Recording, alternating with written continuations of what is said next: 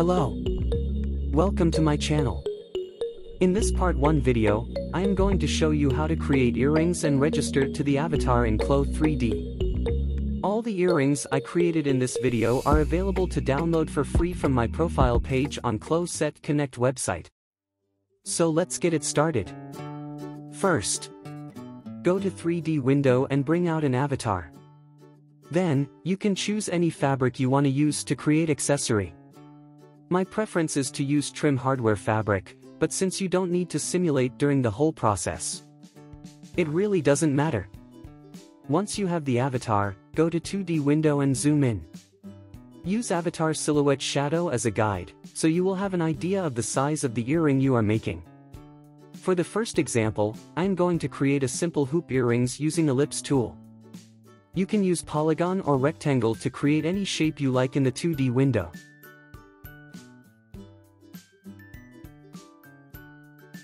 Hold shift and drag to get an even circle. Lower particle distance to 1 or less to get a smooth curve shape when you are making accessories. Use Edit Pattern tool, right-click on the piece and select Offset as internal line.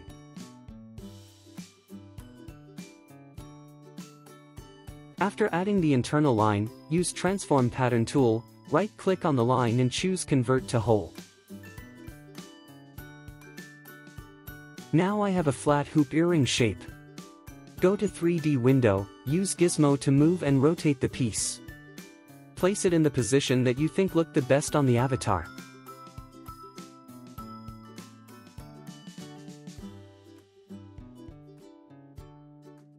Change view angles to double check and make sure the earring is not touch any other part of the avatar besides the ear.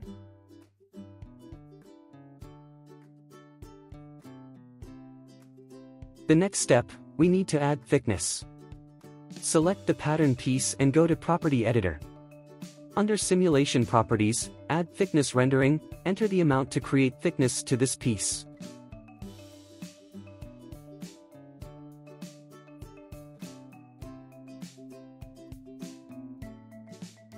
Scroll up to curved side geometry. You can deactivate the function or adjust the offset to your preferred earring thickness and curve.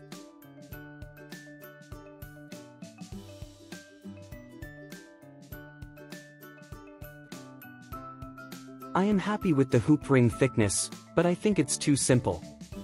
I am going to add three little rings and also apply colors to spice it up. By the way, if you only use one fabric to create the entire design. When you bring the earrings back and want to change color, you can only change the earrings as single color item. If you like to have the option to change colors on different part of the design, you will need to apply new fabric to the pieces. For this earrings I am making, I am going to assign a new fabric to the three small rings. This way, I will be able to change the color separately on the large hoop, and the small rings when I use it in the future. Okay, so now I am done with my design, and I am good with placement on avatar. Go to 2D window and select all the pattern pieces, and right-click to choose copy. Then right-click again and select mirror paste. You will get the other side of the earring. Check your 3D window. The opposite side of the earring should appear on the avatar. Check the position and see if you need to adjust.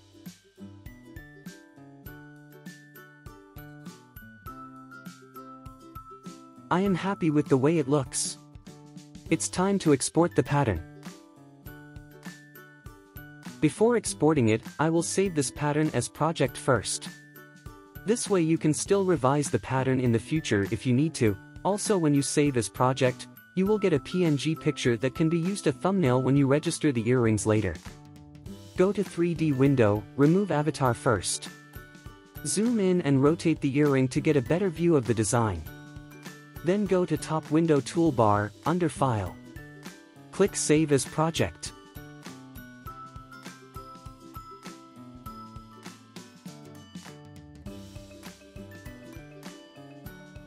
Click Shortcut 2 to bring the earrings back to front view position. Go to File. Export. For the accessory, we need to export the pattern as FBX file. A save file pop-up window will appear, this part is really important. For the initial file saving, you need to type earring as singular, not plural. Also, first letter E needs to be in uppercase. This is what Clo 3D used to register the accessory.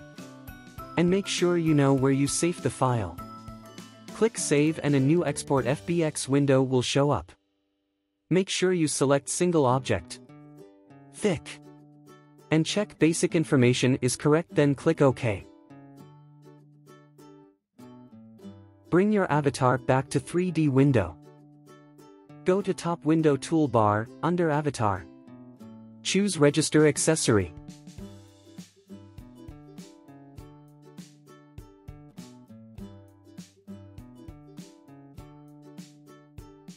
In the Register Accessory window, choose Earring for the accessory type.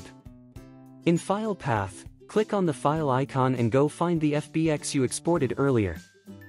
The FBX file name should be earring with uppercase E and singular.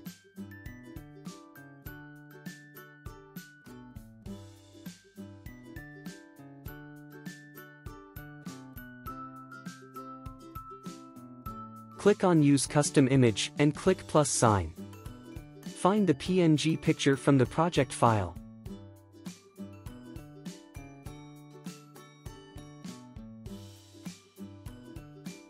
Click Create, and this time in the Save File window.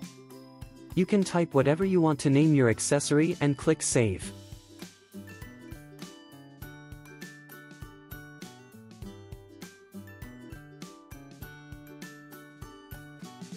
Make sure you remember where you save.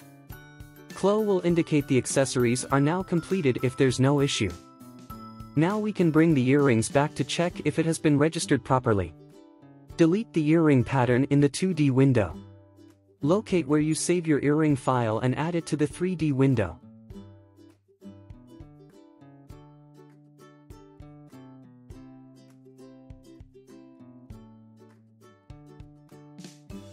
You can click on the earrings to change color and type from Property Editor. Also you can change pose to check if the earrings will move along with the pose. And there, that's how you create earring from scratch in Clo 3D and register to the avatar. For the next example, if you are not quite sure about your design, you can create a square or rectangle of the size you want your earring to be. Then, use internal lines to draw your design. For the second earrings, I am going to make a upside down hoop earrings. It will be a symmetrical design, so I can just draw half of the shape, then unfold the pattern.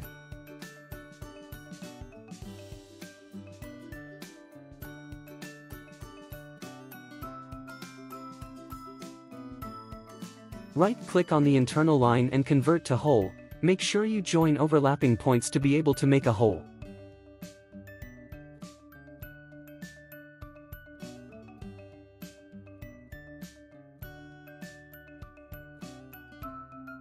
Once I complete the design, I can select all the internal lines, right-click, choose Cut to remove all the extra piece.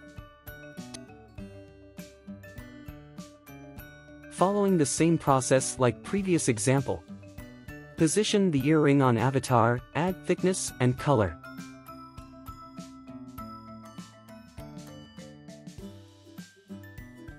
To have a more realistic earrings, you can make earring studs and backing. Copy and mirror paste to create the other side. Double check in different view angles. Remove avatar. Then save as project. Export as FBX file. Remember to type earring with uppercase E and singular. Check single object, thick, and make sure basic information are correct. Click OK. Bring back avatar, and go to top toolbar. Under avatar, click on register accessory.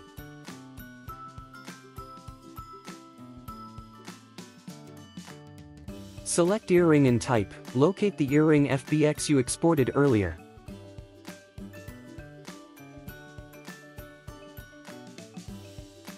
Then use the project PNG picture as thumbnail and click create.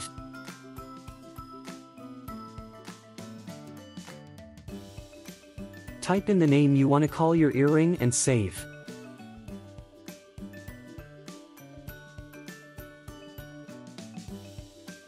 And there. The earrings have been created and registered. Moving on to the third earrings example. For this design, I am going to create a mini cage and put a heart inside. First, I will make a cage wall using rectangle tool and internal rectangle tool. Then convert the internal shapes into holes.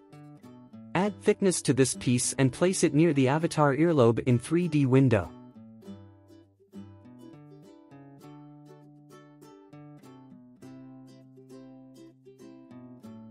Then I will use transform pattern to make copy and paste to add each wall for the cage. Placing each cage wall in 3D window will take a little time to get it right. But it gets better when you practice more. There's no sewing or simulation when you are creating accessories. You will overlap the pieces in 3D window to connect each part.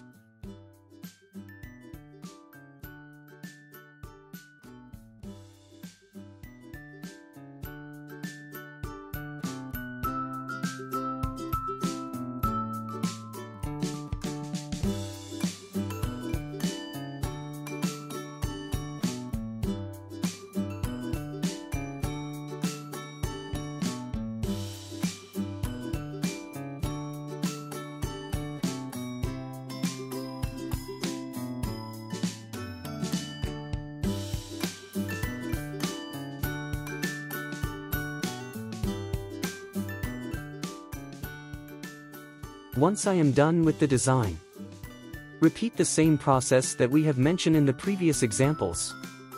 Copy and mirror paste to complete the set.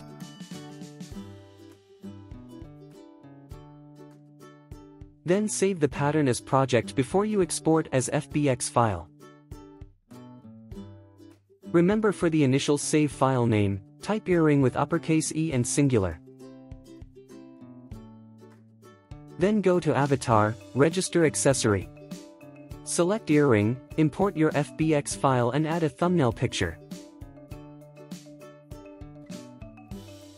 And you will be able to style your avatar with your new accessory. It's simple and easy once you memorize the process. The last example, I will do a quick demonstration.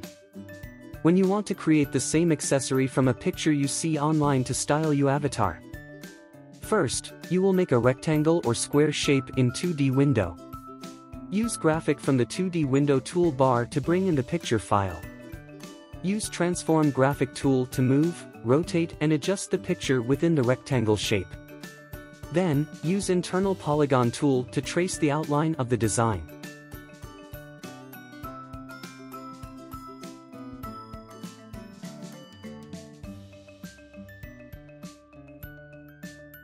When you are done, select all the internal lines and right-click, choose Cut.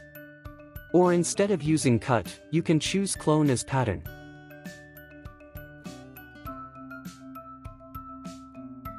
Once you make the pattern piece of the design, repeat the same process to export and register the earring. If you are not familiar with how to use the tools to trace and clone patterns, please check out my previous videos. I have attached a link in the description for you to download the earrings from my Clo Set Connect page. Thank you for watching. I hope you find this video helpful. Please leave your comments. Don't forget to click like and subscribe.